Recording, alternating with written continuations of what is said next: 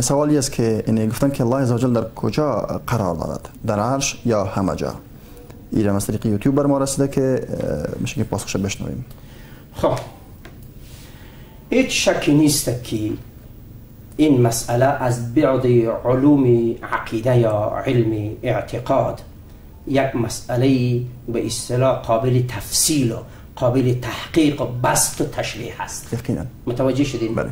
و در این باب مشبهه و معطله فرقه هایی که هستند آنها از افراط و تفرید کار گرفتن شکی نیست الله به اعتبار علم از رگ گردن همه به اون نزدیک است. و نحن اقرب الیه من حبل ورید. ورید. اما آیت می که الرحمن علی العرش استوا الله بر عرش تقرر یافته هست. در اینجا علما ایرا به اصطلاح از بابی یعنی مشابهات ذکر کردن. کما یلیق بشأنه.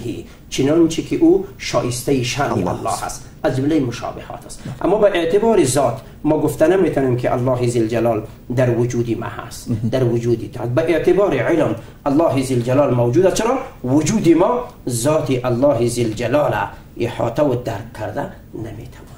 و علم الله که الله در سورة در آیت الکرسی فرمود که کرسیه السماوات والأرض. والأرض.